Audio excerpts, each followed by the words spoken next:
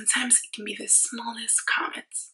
That small comment about your body, your weight, you eating too much, your thighs are so big or they're so small, your height, your gap, your face, your nose. Sometimes it's that small comment that stood within you and made you feel like you weren't enough. And I'm here to tell you that you are enough.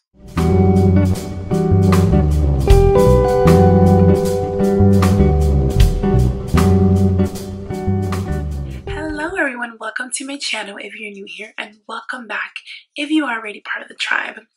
As you may have already noticed, I sound a little stuffy. I'm dealing with some seasonal allergies and ugh, it's a little annoying, but I'm here. I showed up. I wanted to make sure that I did upload a video for you guys this week. So here I am.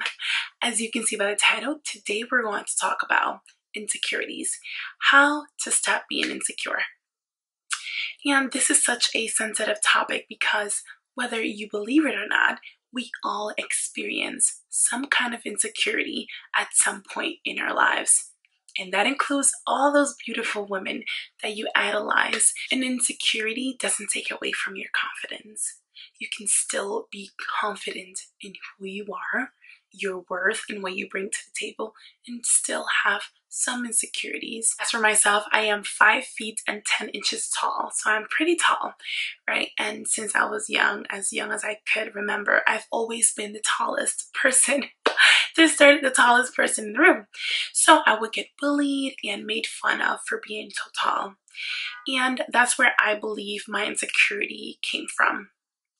That's where it came from because you know, the more you hear something, the more you start to believe it. You start to think that, well, I shouldn't be tall, or why am I so tall, or why I'm not the same as others.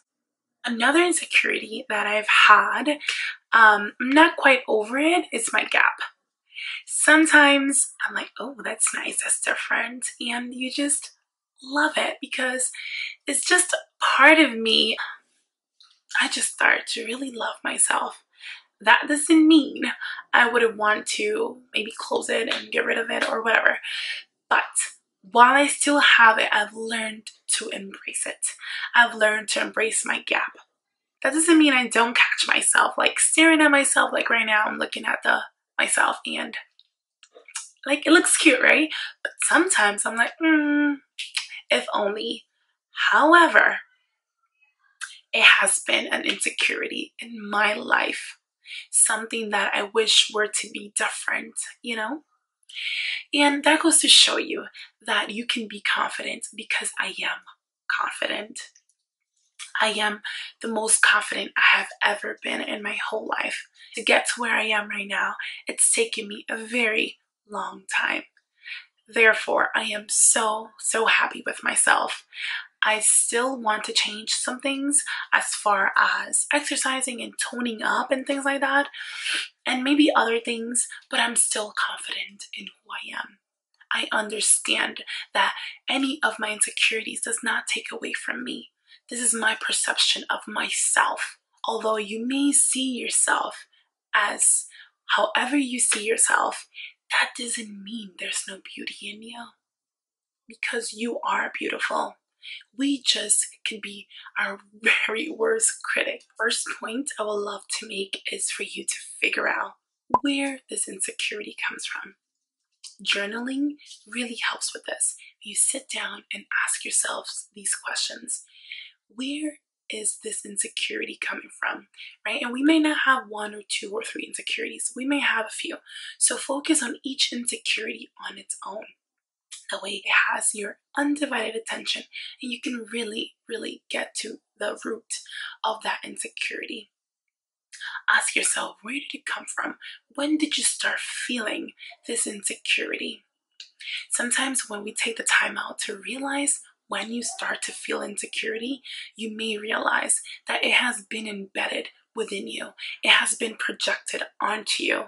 Perhaps you never really even like myself as an example, maybe I wouldn't have worried about my height had that not happened to me, had it not been thrown in my face that I was tall, was tall, was tall, and be laughed at. Do you know what I mean? So there are people in our lives who are negative, and sometimes they are closer to us than we can ever imagine. There are people close to us who are negative and they project things onto us. And the more we hear it, the more we believe it. So finding the root of the of your insecurity can help you help you realize that it's not you. That when you were the most vulnerable, which was when you were younger, or maybe at a time where you were the most vulnerable as an adult, that has been projected onto you. Because it's life. People just walk around projecting their own beliefs and their own ideas onto other people. So when you realize that perhaps it's not an actual insecurity of you, but it was because you've heard it so often that you start to believe it. Sometimes it can be the smallest comments, that small comment about your body, your weight, you eating too much, your thighs are so big, they're so small, your height, your gap, your face, your nose. Sometimes it's that small comment that stood within you and made you feel like you weren't enough.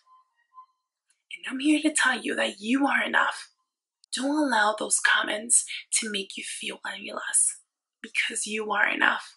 A big part of not being insecure is accepting who you are, accepting that this is how you are, this is all of you, right? This is how you were meant to be. Now, accepting who you are doesn't mean that you cannot want to change or improve something of yourself. It simply means that you accept yourself for who you are and understand that you can take measures to improve yourself, to make yourself feel better because it doesn't help you to just sit around and think bad about yourself and say bad things about yourself like oh i feel fat or oh i wish i was skinnier if this was to be different or this will look better if i were to be this way instead of you bad mouthing yourself. Do something about it. Action. Action. Do something to get a different result. If you want your hair to grow take the necessary steps that you need to take. Maybe you can cut your ends, trim your hair every so often. You can use products that can help you grow your hair. You want to lose weight, then exercise. Maybe you can just start by running and things like that. Find something that would help you and make yourself proud. When you do something, listen to me. When you do something, for yourself, that will make you feel so proud of yourself. So proud of yourself and show you just how capable you are. So go out there and do what you need to do to make yourself happy. Find out what can you do to make yourself feel better about yourself and make yourself proud. A change in perspective can help you feel less insecure. How you see yourself, which perspective and angle do you see yourself? Are you seeing the insecurity from a perspective of flaw where you're not enough? Or are you seeing that insecurity from an angle of love, right? So, your body, are you seeing it as shameful? Do you feel any less? Or are you seeing it as, hey, this is me. This is exactly who I am, who has been part of me, who will be part of me for the rest of my life. And perhaps instead of me thinking all these negative thoughts, I can think of all the positive things and all the things that I do like about myself. Because that's very important. Are you focusing on the bad in you? Are you focusing on what you don't like about you and putting to the side everything else that you do love about yourself? Remember, all this, all these parts of us that we see as insecurities are also the same thing that makes us different from the rest. And yeah, it may be so hard to believe, so hard to agree with, but it's the truth. All of those traits about us sets us apart from others. Remember that your appearance isn't what makes you beautiful. Your inside is what makes you beautiful. When you feel great inside, you start to appreciate all of you, including the outside. Because you realize that it all starts in the mind. So your perspective is really important. Remember that when you ask what is beautiful, it all depends on who you're asking.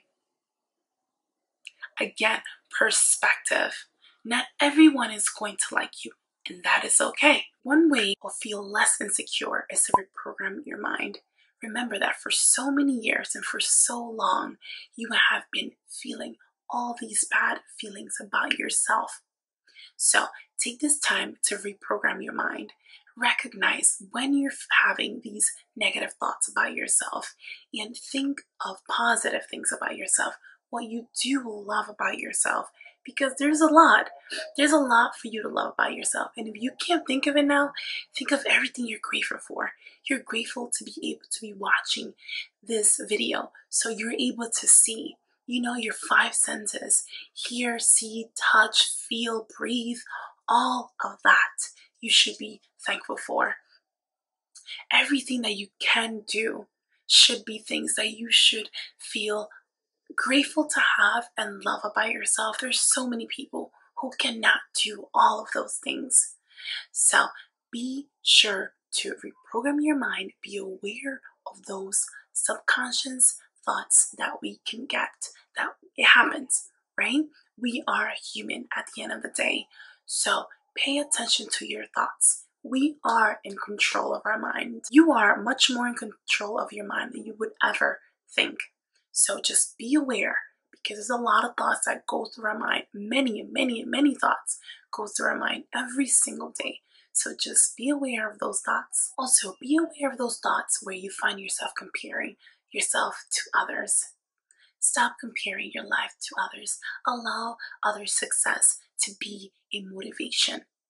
Don't allow that to make you feel any bad of yourself. You have no idea how much that person had to work to get to where they're at now. So if you want to get there, my dear, you have to work your little butt off to be able to get to either where they're at or get your own space and be where you want to be. You have to do the work. Comparing your low to someone else's high it's not healthy. It's not going to help you. So do again, do what you have to do to get to where you want to be. So actively practice positive affirmations. Tell yourself good things. Listen to yourself. Program your mind to think more positively because that's really all our insecurities are full of negative thoughts. So think more positively and it will help you. Remember to write all of this down, everything you feel inside, and watch yourself progress through time. It doesn't happen overnight, it definitely takes time, but it's totally worth it. That is all for this video, guys. Thank you so much for watching. If you did like this video, don't forget to like it. Actually, like it click on that thumbs up and like it. If there's anything you would love to share with me, I'd love to hear from you guys. So comment down below anything you did like, anything you like, or anything you disliked. Whatever you agree or disagree with, go ahead and comment it down below. And if you watched till the very end, then I hope you consider subscribing. I mean, you watched till the end, so you must have liked something. If you like this kind of videos, self-love, self-care kind of videos, then subscribe because this channel was created exactly and solely for you. Okay, so I hope to see you in the next one. Bye.